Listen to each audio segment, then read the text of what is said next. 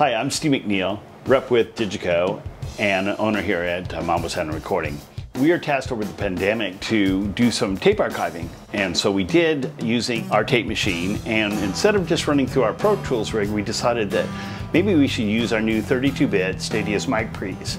Now, we knew they sounded fantastic live, but we thought that this would be a super simple way to do it and have it be cleaner, all the way over in a full archive mode. So we took the line output from the tape machine directly into the Stadius mic pre's, 32-bit, 40-bit floating point processing in the desk. It's hard to beat. So that way we weren't running through an analog chain that would that might color the sound and that may not be uh, good enough for our client. So trying to keep it as pure as possible, just archiving.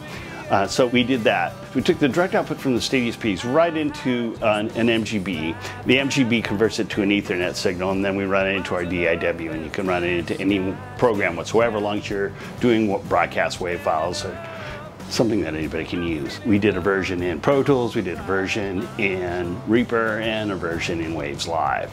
Uh, this client wanted it in Waves Live. I'll play it back in Waves Live in a little bit.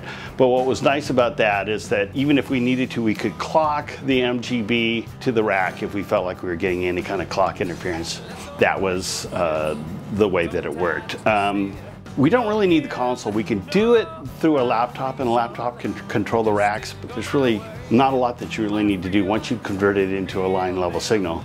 The console is really kind of an extra. It's a nice extra because it allows you to listen to inputs and then listen to your returns, being able to solo in place, being able to check what you have going on. It's a neat system for us and it was very fast and easy for us to make something happen.